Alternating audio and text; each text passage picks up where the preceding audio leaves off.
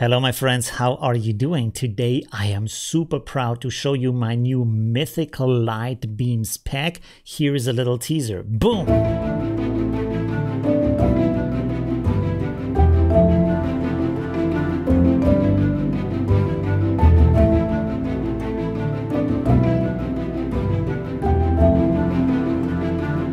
And we're back and before we get started with the tutorial, I want to talk a little bit about this pack because as you know, I'm always super emotional and excited about my pack. So as we all know, light creates a story in images and as artists we love to be expressive. We want to put feelings out there, tell a story, put drama into our scenes, show people what is exciting to us.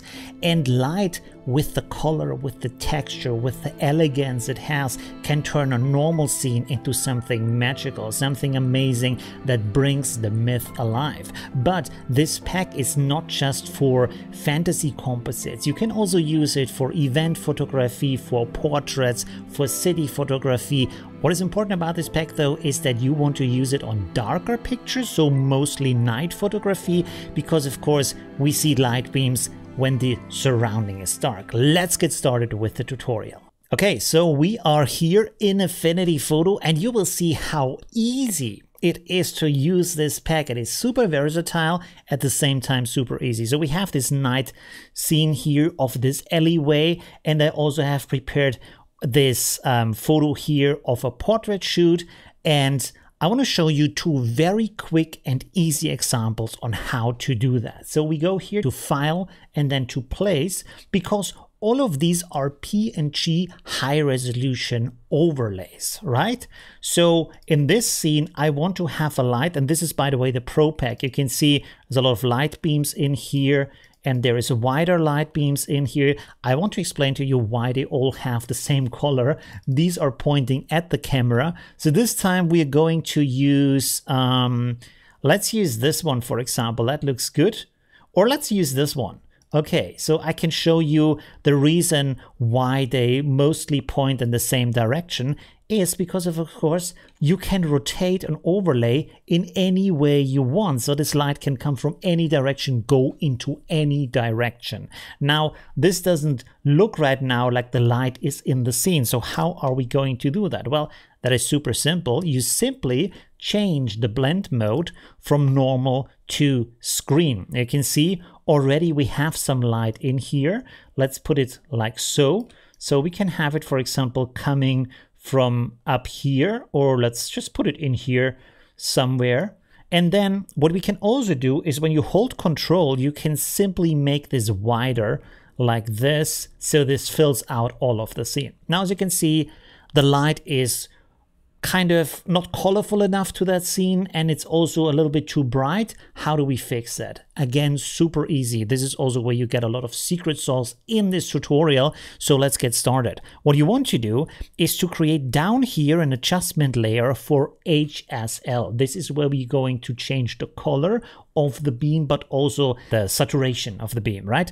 Okay, so what you want to do here is that you want to drag this onto your layer with the beam. But look at this.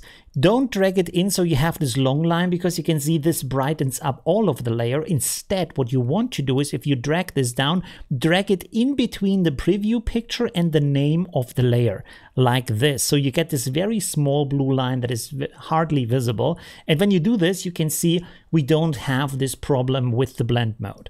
Now, what I can do here is, first of all, I can give my beam any kind of color. You can see I can make it blue, I can make it orange, I can make it violet, any kind of thing. You can also make it green if you want to. There's a lot of possibilities in here.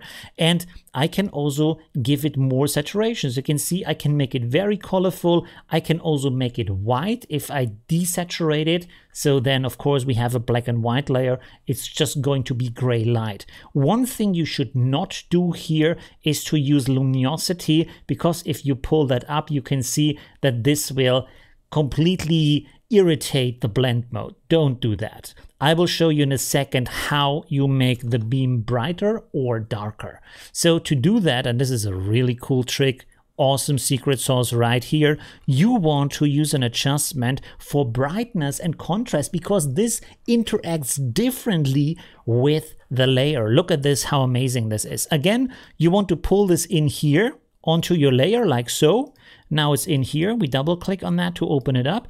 And look at this. If I pull this up, it makes the light brighter, but not the surrounding of that. So this is pretty important because now you can have brighter light. You can also have darker light.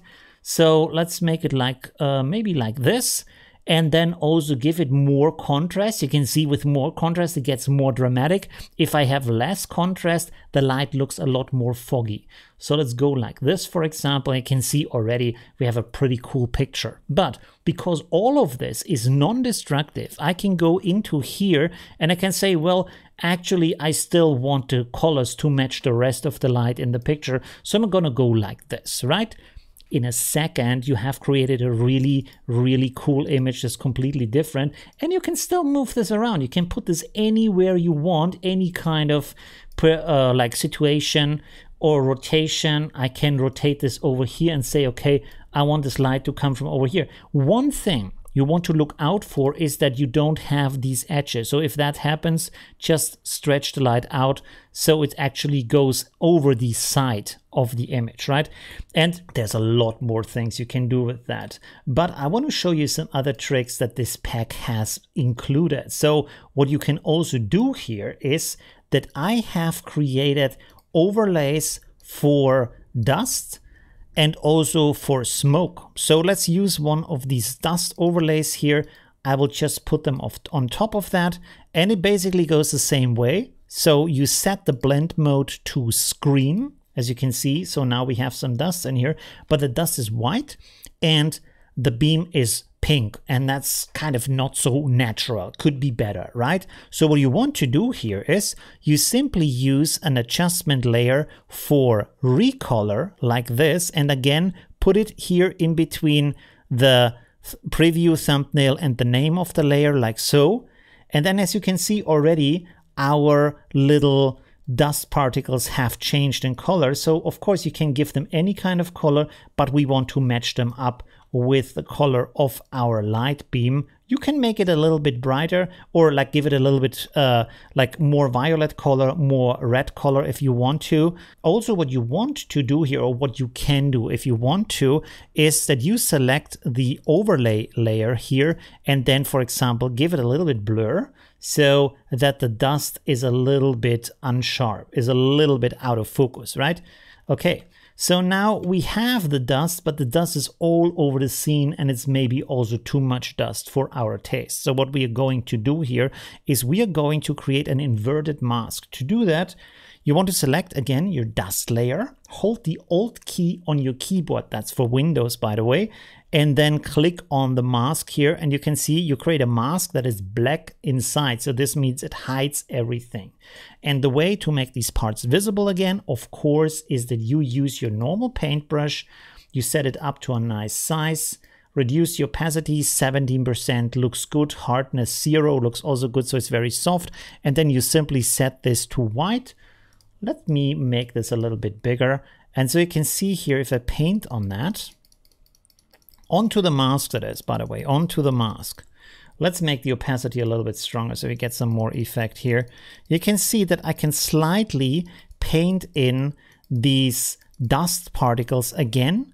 So now here they are and they are just inside of my light beam. And I can also decide to say, okay, I want to have some more up here and then I want to have some less down here. So I switch over to black again and then just paint them out again. And if you say, well, these are too big, and it really de depends on how narrow uh, your view is in the picture, how close the objects are to the picture. For example, if it's just like a small object, of course, the dust particle are going to be bigger and otherwise they're going to be smaller. Just set your opacity to 100%, make your brush smaller, set it to black, and then you can simply paint these bigger ones out if you don't need them. That is how easy that can be fixed. Okay. And of course, you can do the same thing with your smoke overlay. There we go. Let's do this. This has changed to text. There we go. So let's choose one of them. Let's use this one here. again, we have this layer here like so, and we apply to it our inverted mask. So hold the Alt key and press on the, or click the mask button down here. And then again, you use your paintbrush, set it to a nice big size, reduce the opacity down, let's say to around 20%. Make this a little bit bigger here. Okay, and so now I can just paint in some of that fog into my light beams. You can see here, I now have some fog in my scene. So that's pretty cool. And by the way, if you think, well, that's nice, but my fog is white and the beam is pink. Again, like before, what you want to do is to go to adjustment and then you want to go to recolor, drag this again onto the layer. And what you want to do here is to make the layer a little bit darker so the fog is a little bit gray because then it can pick up color. And now as you can see here, I can change the color of my fog here of my smoke and now this has a nice pink color again. You can decide should it be a little more pink a little bit more red a little bit more violet. You have a lot of opportunity to do that here right? Here's another trick because like i said this pack is extremely versatile. What you can also do is create a mask right on your light beam down here and so again, this time I didn't invert it because what I'm going to do is I'm going to use a gradient inside of the mask. Yes, you can do that. So you can see if I paint this on here, I can decide how big the light beam is, how strong it fades out. And this right now is a linear gradient. You can also go to a radial gradient. As you can see now, this is round and I can say, okay, I want this to be like so, but not really touching the ground down here. And now you have created this amazing light that is fading out quickly and not ever touching the ground of your picture. So that's pretty cool, right? That's amazing. Let's go over to our portrait picture and do the same thing in seconds. So I'm not going to explain all of the steps. I'm just going to do them so you can see how quickly you can work with this. Let's put this in here, make it a little bit bigger like so. And then I want to rotate that maybe like this. That looks good. Set it to screen. There we go. Already pretty cool. I want to stretch this out a little bit like so. Okay, awesome. So that is already a good start. Again, we apply the HSL adjustment here change the color maybe a little bit over like this give it a bit more color maybe. That's good. Then again we create our brightness and contrast adjustment here like so. Make it maybe a little bit less strong and give it a bit more contrast like so. That's pretty cool. Then of course I want to have my gradient on that. So let's go like this and simply create a gradient up here so it goes like this, make it radial. Very easy as you can see. So we have a round ending of my light beam. There we go. And already, as you can see, pretty cool, very easy to do.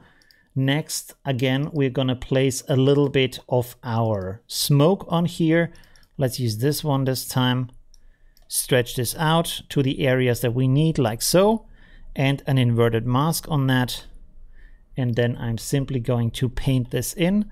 I want to have a little bit more of the smoke up here and then a little bit less down here. So that's not too bad, pretty good. Make this a little bit more. Okay, cool. I want to recolor that smoke. Let's make a recolor adjustment. Like I said, I'm going quick because I already have explained everything before and you can see now the smoke is beautifully blending with the light that we have in our picture very nice, very awesome. So there you go. This is how quick that is. By the way, I want to show you one last thing. You can also, of course, put a second mask onto your light layer. And now I can use my brush, make it black, and just, for example, say, okay, I want to have a little bit less light here on this side and also none on the face. So the face stays clear like that. You can see that this has a certain effect. You can see if I turn this on and off, there is less light on the face. And by the way, all of that is non-destructive. If you say, okay, I want to actually have a little bit more light again on the face, switch over to white, paint on that, and there you go. You have a little bit more light on the face again. And this is how quick you can turn a normal picture like this into an amazing, interesting scene like this. Thank you very much for watching. Check out the free version of the pack and have a lot of fun. See you in my Facebook group. Bye.